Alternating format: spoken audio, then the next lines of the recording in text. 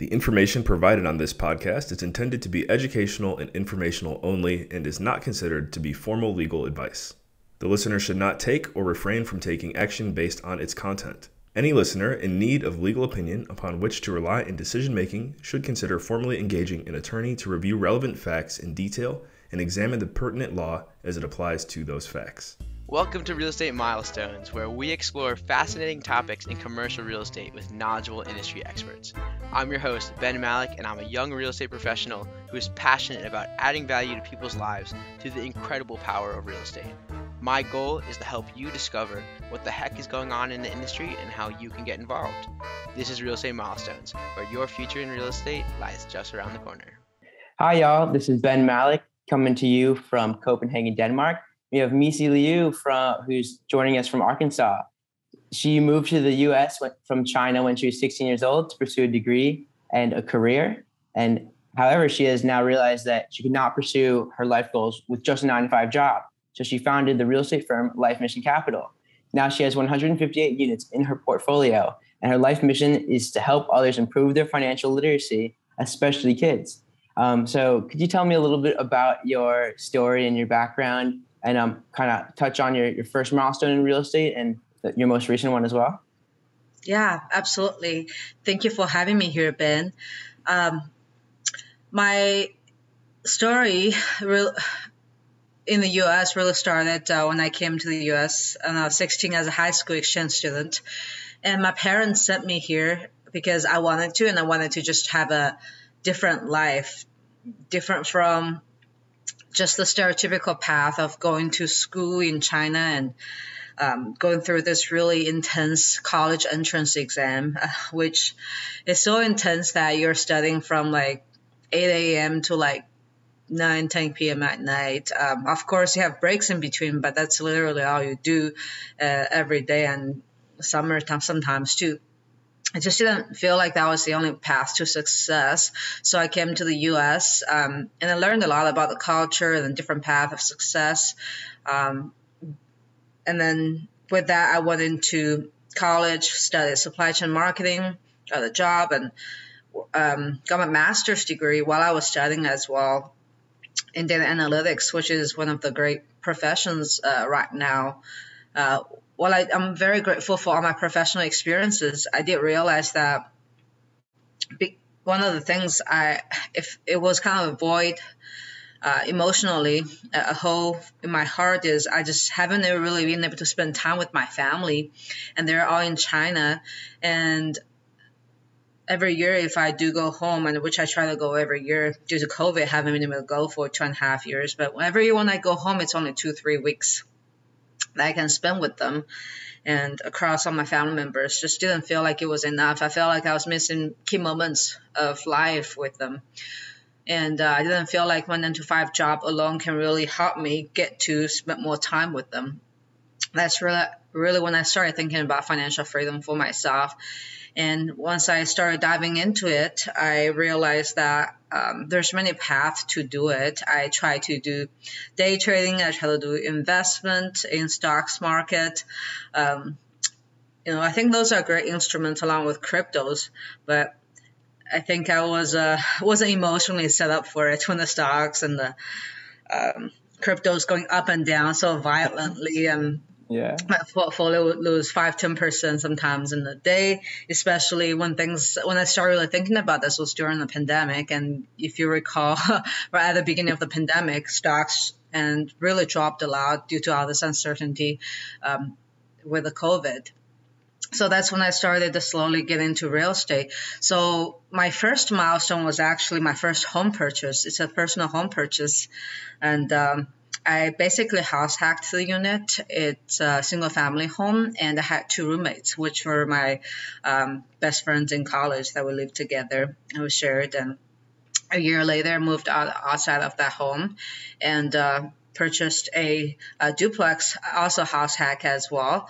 And uh, from that, um, I realized, wow, you know, I'm starting to get a little bit more passive income from those investments, and it really helps out, especially when I do Airbnb a little bit. I was like, you know, this is helping me getting me closer to my financial freedom number, and you know, I actually feel like the the the goal I set to be spending more time with my family is more possible.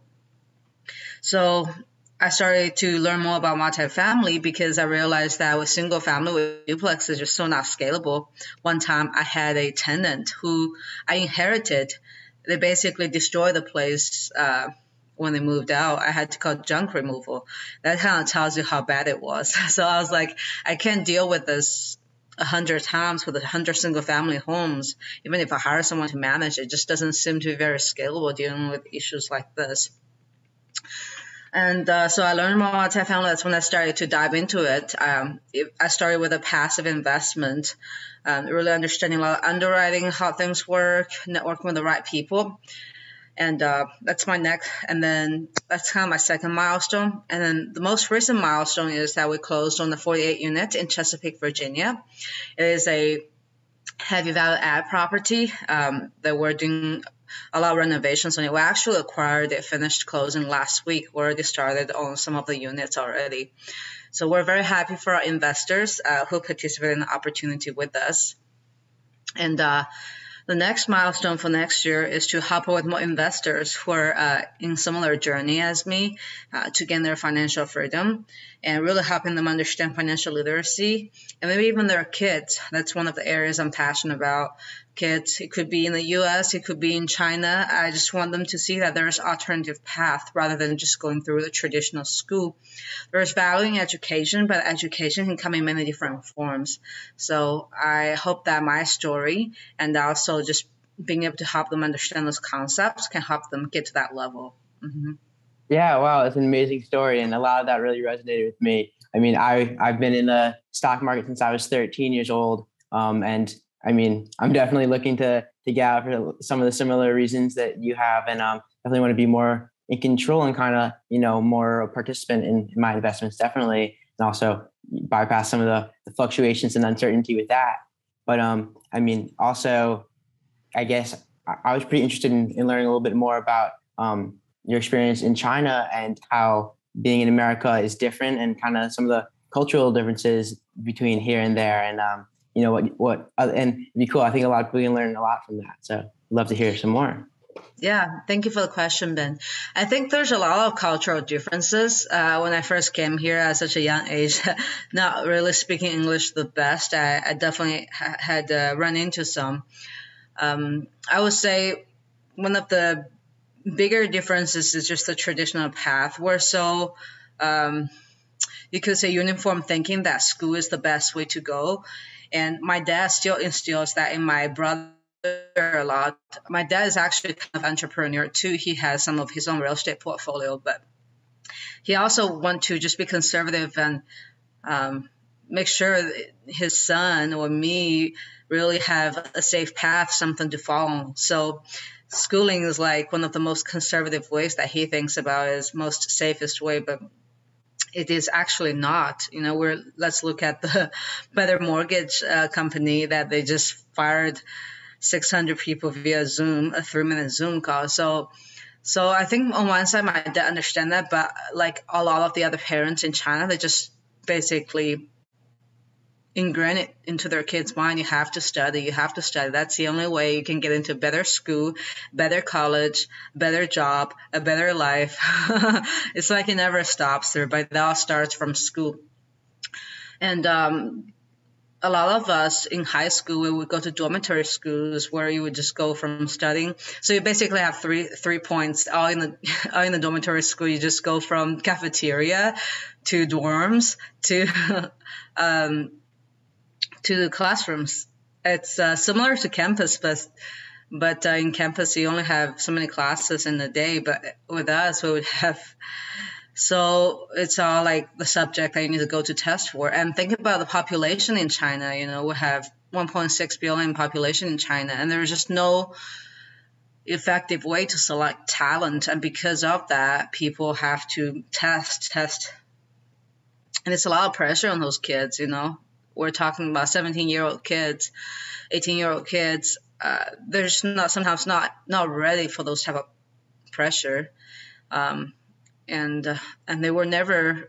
Sometimes they go to school and get out of school. They don't know how to fi- handle their finances.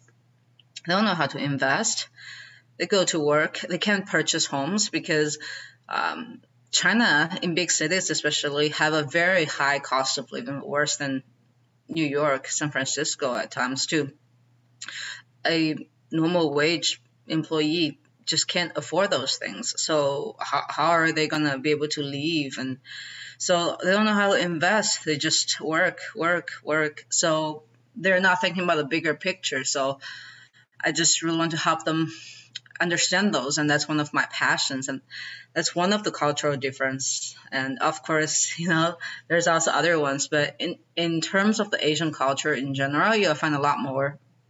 Um, I was you would call conformity, right? So a lot of people doing similar things, uh, similar path. But I see that is also being relieved a little bit, yeah, being changed a little bit. But that is definitely one of the big differences. You know, in, instead of the U.S., there's a lot more individuality. People want to be different, and they're not afraid to be different. Mm-hmm. Yeah, no, that's really powerful, and, and really appreciate you sharing. I thought one thing that resonated with me was how you mentioned, um, I guess you go from the dorm to the cafeteria to class. I feel like some people in America in university might feel like it's similar, but you know, we have the added aspect of partying on the weekends, or like I don't know if that's if that's part of the culture too. But um, yeah, not, I mean, not at all. no, it's, it's very very few instances. Yeah. yeah, that's so that's really interesting. It's like so there's similarity where like there's a lot of the same stuff, but I mean there's an element of of individuality, but ultimately a lot of people in America feel like they're following the same path where you know they're gonna you know they're they're ruining the day that they have to go out of college and get a job because they're gonna be doing that until they're 65 and you know watching their money in the stock market fluctuate or, or not even watching probably just letting the broker watch it. And um, yeah i mean it's cool to even in america know that there's there's other possibilities as well um, which is yeah it's a, it's pretty interesting um, you know perspective.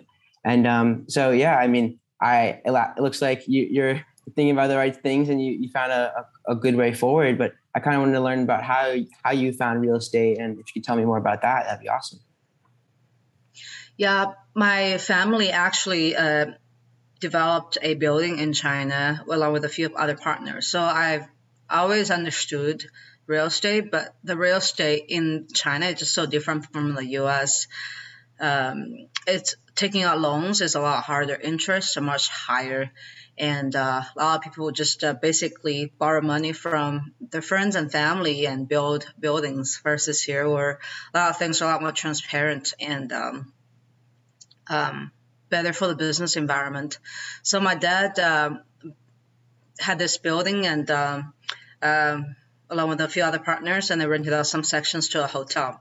And uh, that hotel didn't pay rent for a while because it was 2009 economic crisis, and that's when I actually started coming to the U.S. to study. And uh, that's kind of my first exposure to real estate, and it was just like not something I want to get into because it was just not a good experience with a crisis and not paying tenants. But as I try to dabble into other asset classes, like I mentioned, um, stocks and cryptos, emotionally, I was just not ready uh, for those type of assets. Not just because they're very volatile, um, but also because there's no real value behind it. Sometimes, depending on the company you're investing, um, and the cryptos that you're investing. um, so that's when I started to actually get into real estate first to just to buy a home for myself to live in.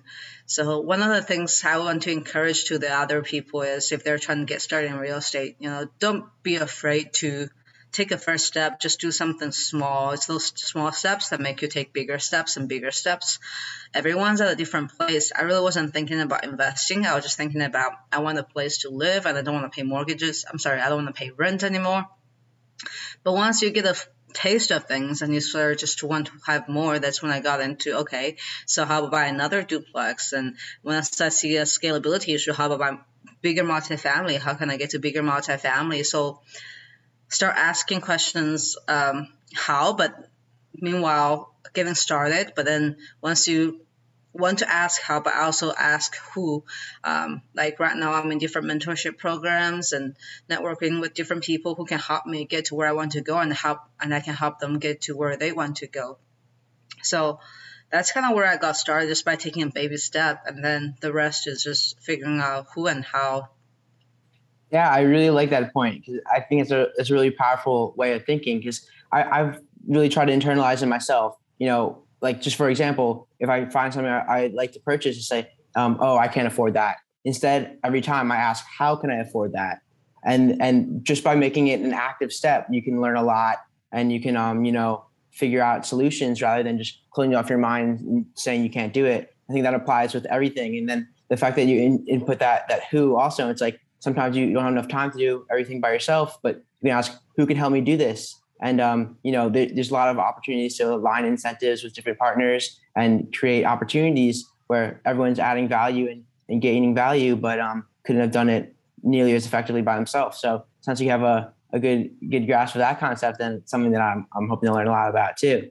Um, so could you tell me a little bit more about Life Mission Capital? It sounds like you have a pretty cool business going and a, a pretty good purpose. Yeah, I've spent a lot of time trying to figure out the name and asking internal questions like, you know, why I really want to do what I want to do. Um, yes, the personal financial freedom piece is nice, but there's many other paths I want to, I can get to it and we'll just get to it. But what's the bigger goal there for me? Who do I really want to help? And one big piece uh, that's my life mission is just to help others improve their financial literacy. So they don't have to um, they can know more than what I used to know. Similar to you, you're exposed to so many different concepts right now because of others giving you the opportunity. And I want to give the opportunity to kids even younger. And one of the nonprofit I like to partner with is called Junior Achievements. And I encourage all the people, whether they're parents or not, check out that program. Um, we basically partner with them and uh, we go into usually elementary school to high school and teach kids on different entrepreneurship, financial literacy, budgeting, taxes, all those concepts.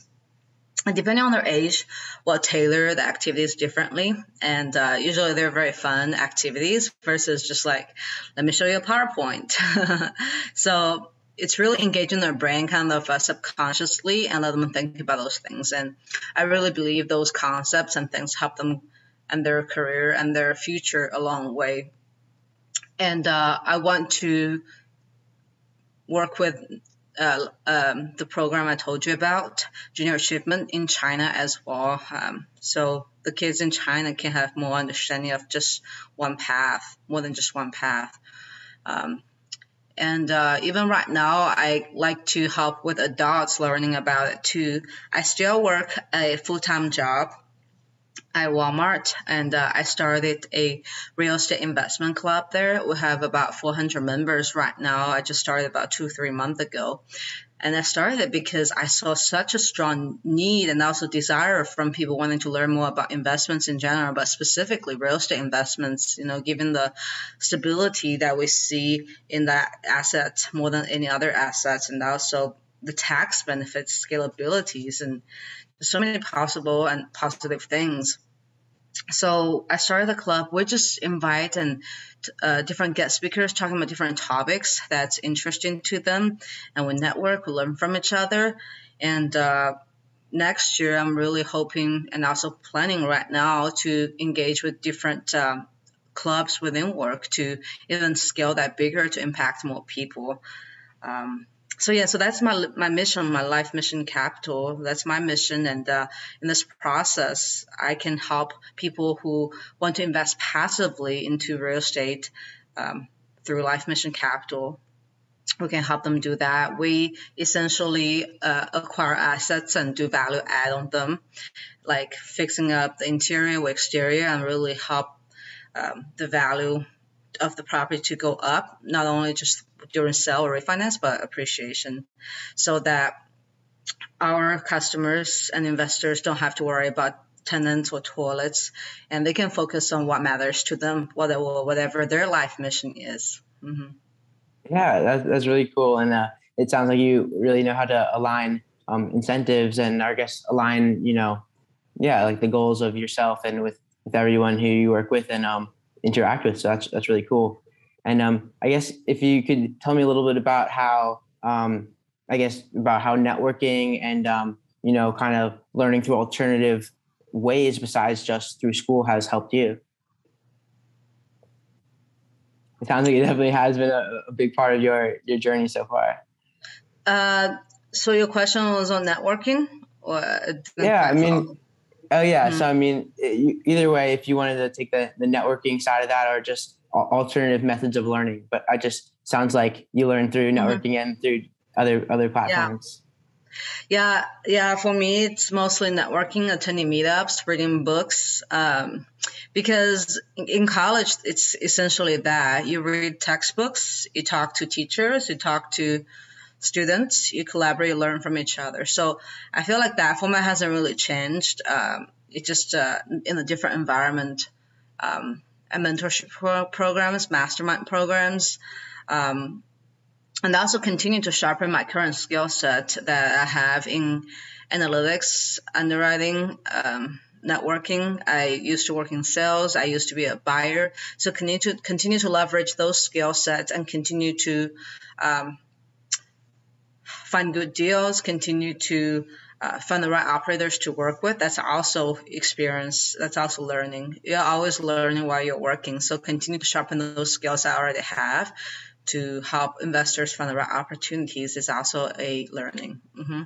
Yeah, that's awesome because the way I got to this point in dis- in discovering real estate and um, I guess just you know meeting people, it's all it all started like a whole I guess over a year ago where I just would talk to go on LinkedIn, reach out to people, talk to as many people as would be willing to pick up the phone and talk to me. I ended up learning about a lot about real estate and I ended up getting a lot of good book recommendations and I began reading a bunch of books on my own free time and guess this calendar year I've read probably around 40 books so far, which is more than 90% of the books I've probably read in my life. And I just think that's been incredibly powerful. And I've, that's actually how we've ended up here in a, in a way, because um, I read Hunter's book and then reached out and he connected me with Adam. And that's, uh, I guess, how I joined this, this community and how this podcast started. So, I mean, it opens up a lot of opportunities to network and to read and just to learn about about things on that you're interested in because you know school's not always directed towards your specific interests so it's really you know it's good to you know use networking and and reading to drive your own learning in the way that, you want to do that so um, yeah mm-hmm. that's really powerful i appreciate you sharing yeah and you you know you sharing your experience also reminds me that to bring up a point once you learned enough on paper whether it's Udemy or books, whatever, it's important to just start taking actions. That's why I was saying about leveraging my existing skill set. Everyone has some level of skill set. It's important to take that learning to the next level and to start taking actions. So that's also learning. So don't don't just delay your actions and stay on paper. Uh, take actions. You'll learn from it too. Mm-hmm. Yeah. Well, I'm glad you you said that to me because that's something that I've known and kind of been told and like I really want to do and like I've been been kind of feeling a little anxious about just learning so much and like it's getting all stuck in my head and like I really want to start using it because I, I, think I can can learn a lot more and so I, am really looking to um, for opportunities to take action and I'm hoping when I'm back in America and uh, it's in the, the real estate turf that I want to be that I can maybe find some opportunities around my college to, to do something similar to what you what you're doing and uh, maybe you can some source some deals through through my network and continue to to build on those capacities and uh, hopefully add a lot of value to the world. And um, I guess before I jump into the we jump into the lightning round, I want to ask one more question, and I guess it's what is the next mm-hmm. milestone you're looking to achieve? Mm-hmm. Yeah, the next milestone is for us to uh, be able to help out about at least uh, 50 investors in the next year to help them to get started in the space of uh, uh, passive investing so that they can focus on what matters to them, understand the power of passive income. Mm-hmm. Yeah, that's awesome. And that's, that's definitely a, a noble life mission and, and, and goal. And um, I, I, wish you the best of luck in that. All right. So now it's time for the lightning round. And um, the gimmick here is that it's going to get increasingly more difficult as we go. So I hope you're ready. Um, so All the first right, one, yeah, yeah, let's go. So the first one is, what superpower would you want if you if you could choose any superpower and why? Yeah, I would choose the ability to um, just go back in time. Uh, and uh, spend time with uh, some of my loved ones at the times I couldn't due to distance or, or time. Yeah. Oh, that's a good one. I would, if I could go back in time, I'd, I would want to chat with Aristotle and um, see what he has to say. that's funny, but yeah, that's really cool, and that, that's um, that's a good one. And then the next one is, what's your favorite book, and um, or what's the one that helped you the most so far in your life? Mm-hmm. I would say the Bible. yeah, I think the Bible has helped me the most. Just uh, so many wisdom and knowledge um, in the in the Bible and small things, and um, and I never interacted with the Bible until I came here in the U.S. And um, it's been a long journey and kind of recent journey um, for me. Um, yeah, so I would say the Bible. Mm-hmm. Great, yeah. And then, what motivates you each day to continue doing what you're doing? And um, you know, mm-hmm. yeah, yeah. What motivates me most is um, thinking about how to create a kingdom, um, spiritually speaking, how to create a kingdom and how to use my superpower and what's the best way I can impact people. And I found that when people are actually having a sense of securities, financially speaking, they're actually more likely to perform their best and more creatively as well. So that's why I feel financial literacy is a big thing. Um, biblically speaking, there is a lot of um, sayings that has been, you know, giving up the, themselves um, and still really build a kingdom, but not everyone is set up or ready for that. So I think giving people a sense of comfort, financially speaking, really helps them achieve that next level that they want to achieve spiritually as well. Yeah, that's awesome, and I, I see why that can definitely keep you going and keep you inspired. That's that's very great. And yeah, it's then, kind of like the hierarchy of needs if you think about that. When your physical yeah. needs and um, eating and shouting, shelf, uh, shelter and etc. being met, you're more likely to achieve the next level. Mm-hmm. Yeah, I th- I don't know if Maslow would say I'm at this the point of learning uh, self actualization, but um, I I'm hoping I'm hoping to to do that as soon as possible. Especially, I think it's an age thing. I think that he didn't think that someone at my age could do it. So I'm trying to prove him wrong, but um, who knows? It's a long journey. Um, and then I guess my the last question would be, um, what advice would you want to give someone who who might want to follow in your footsteps? Mm-hmm. Yeah, I would suggest uh, get started on something after you do some learnings on whatever you want to do, whether it's in real estate. And, you know, obviously I recommend real estate and obviously I recommend multifamily. Obviously I recommend syndications and uh, definitely do education and uh, no more than a month or two start taking actions. And some of the educations you can find is on my website, lifemission.com. I talk about in my book how to passively invest in apartments. So you can check out that. Um, you know, do whatever else reading you have to do and just start taking actions once you figure out the pros and cons, the risks and the reward, and how it really helps you to get to your goals.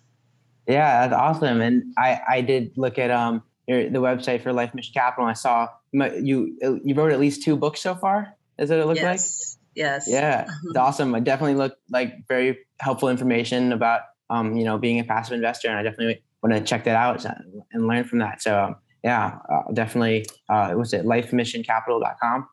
Yes, that's correct. Lifemissioncapital.com. Mm-hmm. Awesome. And I guess, well, the, the, last question would be since I put you on the spot, I, I would let, uh, give you an opportunity to get revenge and uh, and allow you to ask me anything you'd like to ask um, about mm-hmm. myself. Yeah. Where do you see yourself in 10 years, given that you, you know, you're unique and special, that you're not just uh, exploring nine to five job right now, you're already exploring entrepreneurship, uh, opened up a kind of a floodgate of many opportunities. So where do you see yourself right now based on what you have seen in Definitely. Years? So yeah, and for for that, um, I I whether or not I in, or I'm in a, a nine to five job, um, and I I will I'm hoping to invest in real estate and um, either passively with a job or um, or or more actively with through my own uh, company and through um, my own entrepreneurial uh, endeavors. And um, but ultimately, the goal would be to reach financial freedom in by ten years. So I guess yeah, I want to do it in at least I want to do it in six. I want to have enough cash flow that it, or that the um, cash flow exceeds the the cost of living, and that um, I have the security in that in that sense. So um, yeah, I'm, I'm hoping to get started as soon as possible, so I can take advantage of the time value of money and, and compounding, and um, hopefully be able to you know be self sufficient before starting a family that I, I can can uh, bring on a, a, family and still be able to support myself and and everyone who's around me. And um, I also want to help my my my parents retire if that's what they want, so they can feel the same comfort that I, that I want to feel. And um, yeah, I just want to I guess add value to all the people around me and continue spreading the love of real estate and spreading the the love of of my fellow man and woman. And uh, yeah, and just just uh, have peace, love, and positivity. that's awesome. Yeah, that's awesome. You're on the right path. So congratulations. I appreciate it. Thank you very much. So um, before we sign off, I would like to give you an opportunity just to share any last thoughts and then also tell anyone listening how they can get in touch with you. Yeah. Uh, last thought is that I'm very grateful for where I'm at today and um, for my family that has given me the chance to come here, my host family that has hosted me, and um, my family now as well.